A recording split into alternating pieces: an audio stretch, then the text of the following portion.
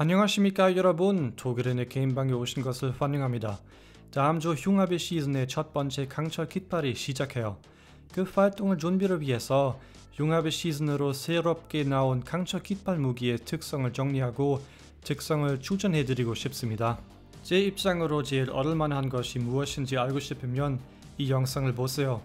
언제나처럼 구독을 아직 안 하셨으면 구독해주세요. 구독은 저를 너무 행복하게 해줘요. 고맙고 시작해봅시다. 첫 번째 무기는 140 헨캐넌입니다. 유한한 충격기라고 합니다. 옛날 버전이 지금 영상에 보여요. 에너지 전기 헨캔이에요. 무기의 스탯이 뛰어나지 않아요. 특히 회문이랑 직접 비교해보니 회문은 스탯마다 더 높아요. 그럼에도 불구하고 유한한 충격기에 재미있는 특성이 있어요. 얻을만한 버전이 무엇인가요? 정리해봅시다. Steady Hand HCS 저는 이 조준경이 최고라고 생각해요.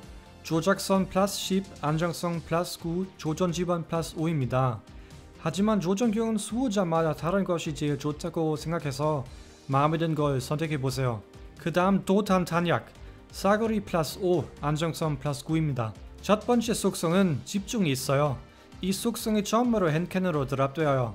진짜 좋지 않을까 싶어요. 이 속성을 이번 시즌에 버프까지 받았어요.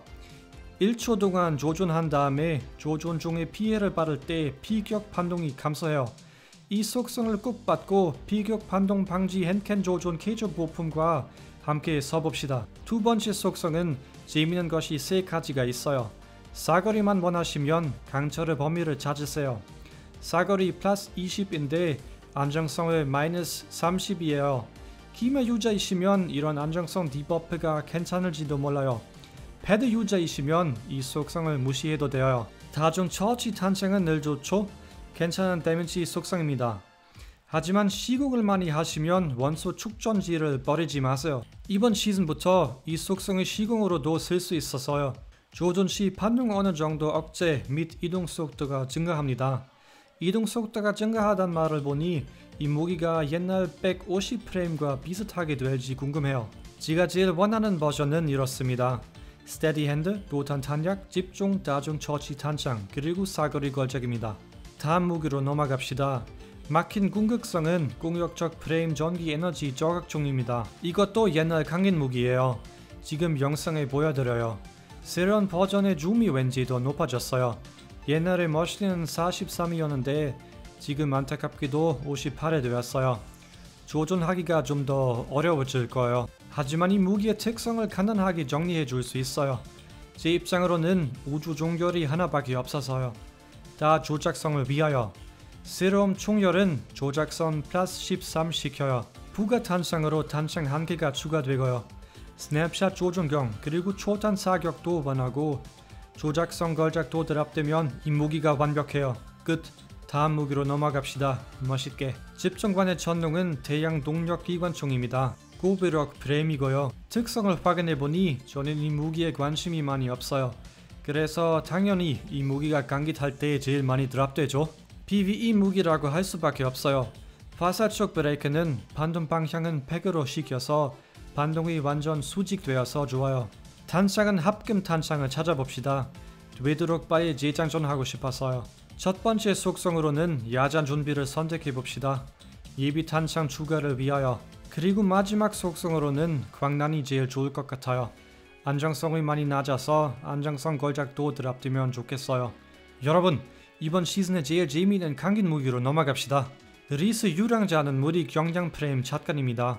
이 무기를 장착하면 이동 속도가 빨라집니다. 대단하게 재미있는 속성까지 있어요. 정리해봅시다. 괜찮은 버전이 많이 있는 것 같아요. 우주 종결이 어떻게 생기는지 저한테 아직 확실하지 않아요. 총열로는 강선 총열, 소구경, 그리고 full choke가 제일 좋아요. 사거리를 위해 강선 총열을 제일 좋긴 하지만 빠른 무장의 nerf 후에는 조작성을 마이너스 15 debuff를 시키는 것이 그다지 좋지 않아요. 그래서 full choke가 아마 제일 좋을 것 같아요. 하지만 전 경량 프레임으로는 소구경도 잘 썼어요. 그래서 소구경으로 drop된 무기를 바로 갈아버리지 맙시다. 탄창은 두 개가 좋아요. 사거리를 위해 당연히 정밀 조준 탄약이 좋죠. 사거리에 플러스 10 buff 시켰어요. 하지만 돌격 탄약도 좋아요. 분당 발사수에 플러스 10 시켜요. 어떤 것이 더 중요하다고 생각하는지에 따라 선택해 보세요. 제가 제일 원하는 속성 조합은 미끄럼길과 강철의 범위입니다. 미끄럼길은 슬라이딩을 하면 이 무기의 탄창이 부분적으로 재장전되고 일시적으로 조작성과 안정성을 증가합니다. 슬라이드 사격이었으면 더 좋았을 텐데 어쩔 수 없어요. 재장전 그리고 조작성의 buff도 나쁘지 않아요. 강철의 범위는 샷건에 대단하지 않을까 싶어요. 무기 안정성을 희생하여 무기 사거리를 크게 향상시킵니다. 사거리 플러스 20 그리고 안정성 마이너스 30입니다. 안정성은 샷건에 아예 필요가 없어서 대단한 속성이에요. 이걸 보세요. 강선, 정밀, 강철의 범위 그리고 사거리 걸작이 있으면 사거리가 96이 되네요. 어이가 없어요. 그럼에도 불구하고 저는 강선 대신 불초크를 찾을 거예요. 조작성 때문에요. 이 영상을 여기까지 봐주셔서 고맙습니다. 강의돼서 얻고 싶은 무기를 얻길 바래요. 다음에 봐요.